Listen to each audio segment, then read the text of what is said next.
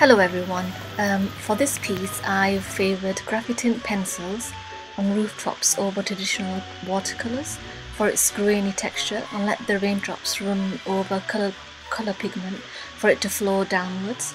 Um, a £300 paper was sufficient for it not to buckle. Despite being trialled for several rainy days, I was hoping for the raindrops to leave an impression onto paper like the cloud example However, due to the speed and intensity of the rain, it washed most of the pigment out on the first go.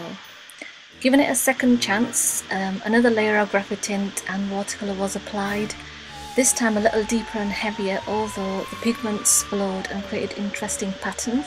The rooftops however haven't lightened as a result so with a flat brush some paint was lifted away and a wash of white thin gouache was brushed over rooftops towards the centre of the image. Similar washes of grey and browns uh, used on the roof tone harmoniously with the grey, burnt sienna and a yellow background, bringing the image together. It almost gives an after rain feeling or creates an unpredictable atmosphere. The paints and pencils used are listed below. Enjoy the rest of the painting.